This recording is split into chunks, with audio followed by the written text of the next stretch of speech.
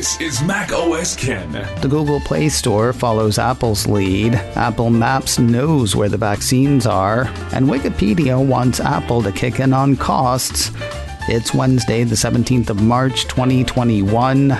I'm Ken Ray, and this is news from Mac OS Ken, brought to you by yours truly and sponsored by Amazon Pharmacy.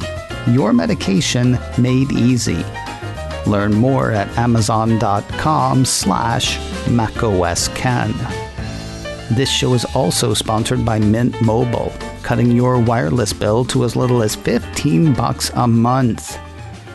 Does your wireless carrier make you happy?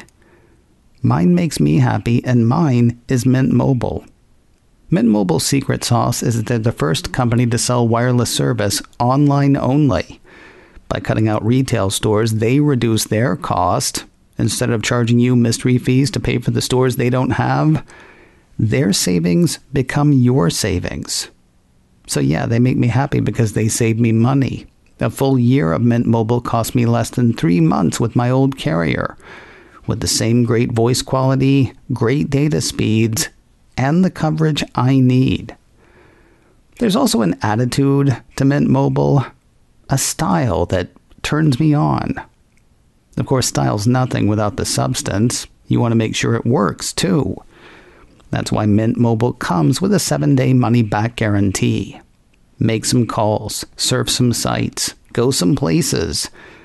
If you're not completely satisfied, return it within seven days for a full refund to get your new wireless plan for just 15 bucks a month and get the plan shipped to your door for free, go to mintmobile.com slash macosken.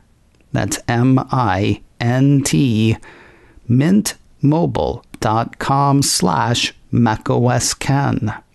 Cut your wireless bill to 15 bucks a month at mintmobile.com slash macosken. You pretty much knew this had to happen. CNET ran a piece Tuesday saying that Google is following Apple's lead and lowering the commission it charges most developers selling through the Google Play Store.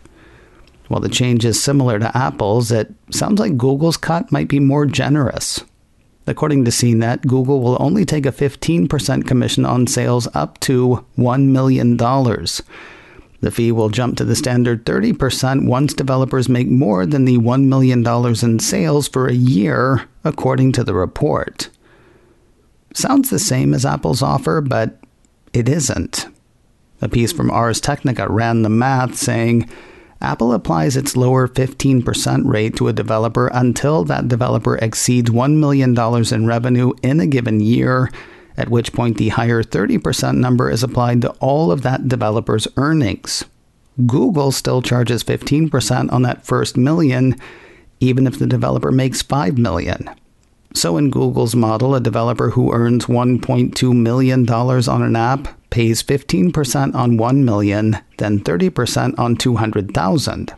In Apple's, a developer making 800,000 forks over 15% on that amount but if they make 1.2 million, they pay 30% on all 1.2 million, not just 200,000. It's tough to know how many developers straddle that million dollar fence. There's also a bird in the hand thing going on right now. While Apple's lower commission went live at the first of the year, CNET says Google's won't drop until the 1st of July. Quoted in the CNET piece, Google VP of Product Management Sameer Samat said, with this change, 99% of developers globally that sell digital goods and services with Play will see a 50% reduction in fees. I'm no mathematician, but does that indicate that 99% of developers selling in the Google Play Store make less than a million dollars a year? I mean, I knew the split between the sells and the sells nots was big, but Golly. As for what such large ass costs Apple and Google, saying the cost is manageable would be understating it. A piece from CNBC has numbers from the app tracking firm Sensor Tower. According to those, Apple and Google are giving up less than 5% of their revenue from apps with the commission changes. We'll let CNBC and Sensor Tower do the math this time. If the 15% fee schedule on revenue up to $1 million had been in place on Google Play in 2020, Google would have missed out on $587 million, or about 5% of Sensor Tower's estimate of $11.6 billion in Google Play fees for the year. If Apple's program had been in place for 2020, Sensor Tower estimates that it would have missed out on 595 million or about 2.7% of its estimated $21.7 billion in App Store fees in 2020. I gotta say, that makes Apple's structure look worse. Actually, I didn't have to say that, and yet I did. Unhappy with the changes, a guy who won't be greatly affected by these changes. Google's shuffling of commissions was likely spurred by Apple's commission switch at the start of the year. That was likely spurred by bad press generated by the Coalition for App Fairness, which was blinked into existence by Epic Games CEO Tim Sweeney. Putting it succinctly, CNBC says Epic Games is currently suing Apple and Google, seeking to make changes to their app stores to allow for third party payment processors as well as other changes. That is like the Reader's Digest version of the Cliff's Notes of what's going on, but it works.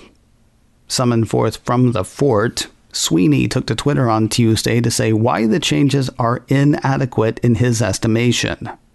Quoting a Sweeney tweet, it's a self serving gambit. The far majority of developers will get this new 15% rate and thus be less inclined to fight but the far majority of revenue is in apps with the 30% rate, so Google and Apple can continue to inflate prices and fleece consumers with their app taxes.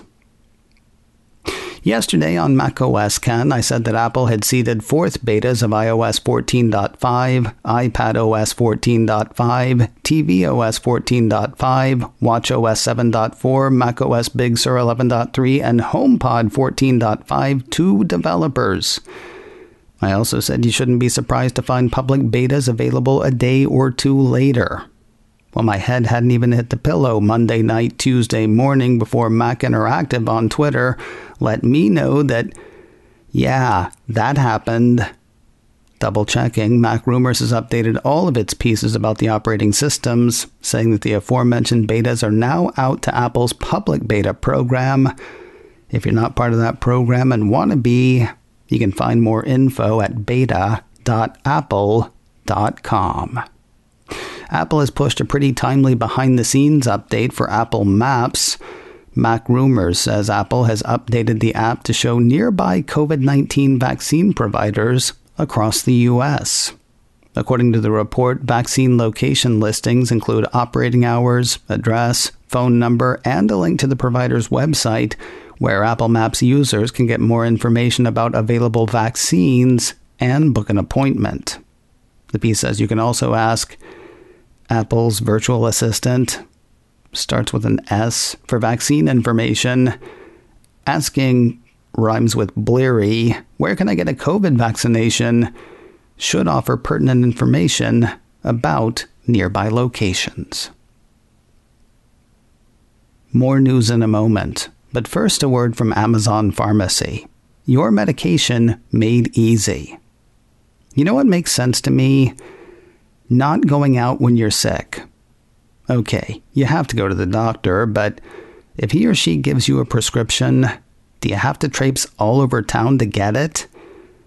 You do not with Amazon Pharmacy. I'm a Prime member. I get stuff from Amazon. Not everything, but some things. I know they know how to deliver. Literally. And they can do that with your medication too. Just have your doctor's office send your next prescription straight to Amazon Pharmacy, and your meds turn up at your door. It works with most insurance plans nationwide, but Amazon Prime members paying for a prescription without insurance can save with Amazon Pharmacy. Their pricing is clear and understandable, they're HIPAA compliant, and you can get in touch with a pharmacist 24 hours a day, 7 days a week.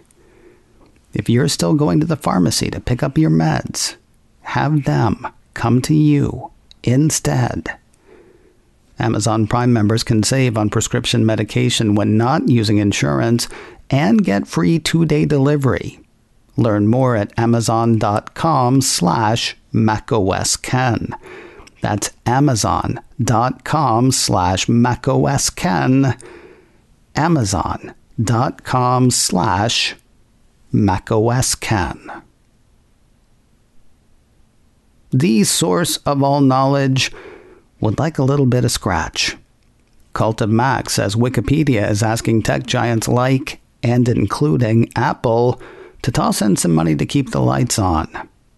As a demonstration of Apple's dependence on Wikipedia, says the cult, ask Apple's virtual assistant, What is the Holy Roman Empire? And she'll read an article straight from Wikipedia. A macOS Spotlight search for that term pulls up links and articles from the online encyclopedia as well. And the piece says, same goes for Google. Given what they get, it's kind of amazing they haven't been paying already.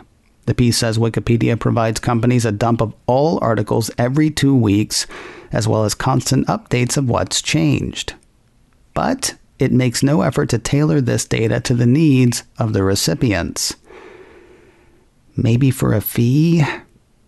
Cult of Mac highlights a report from Wired outlining Wikimedia Enterprise.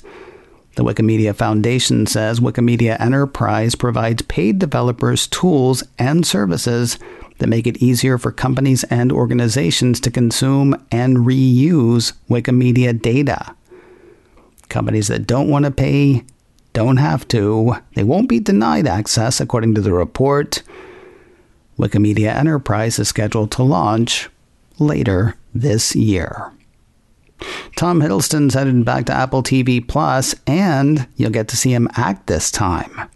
His first turn on Apple TV Plus was as the narrator for the docu-series Earth at Night in Color.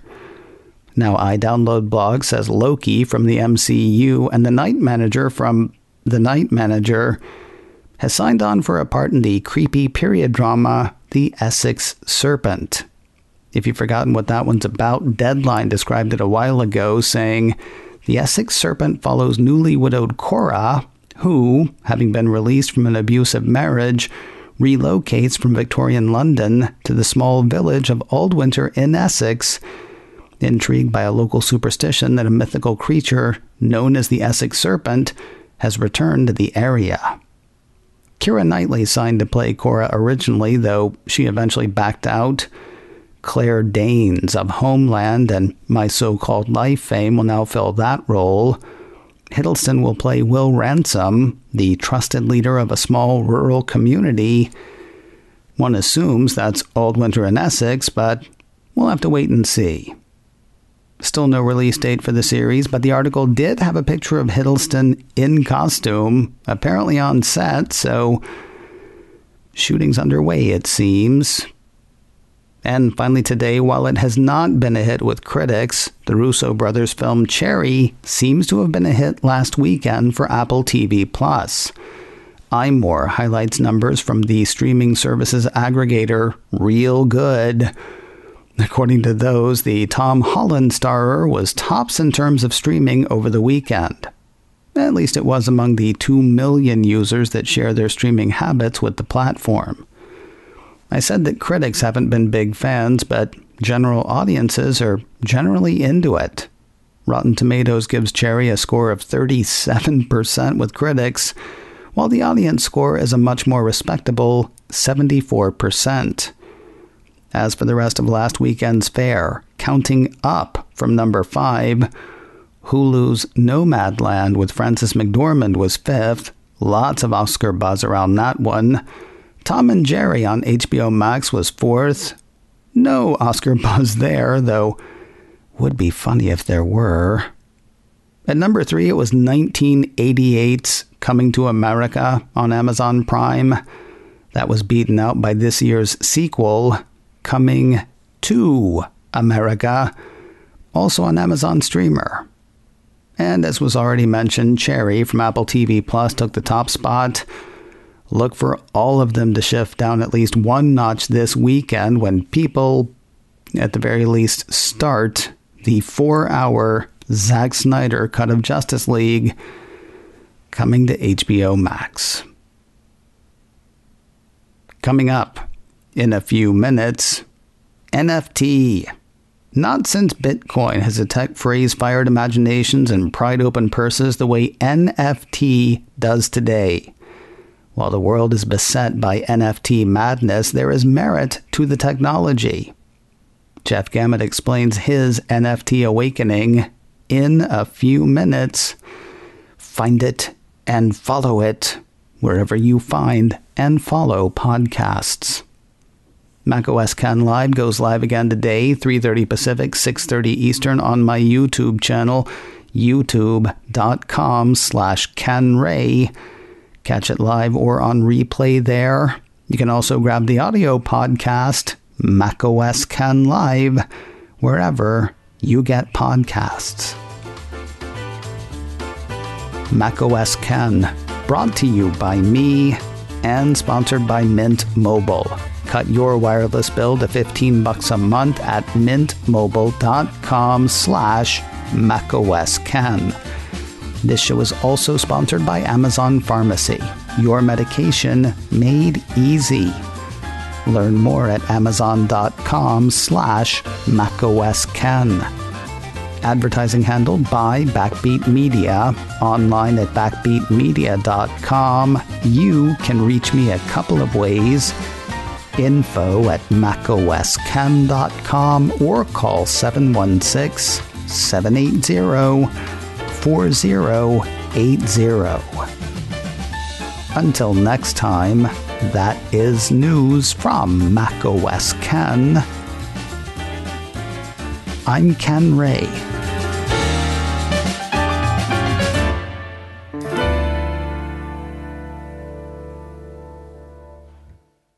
Ciao.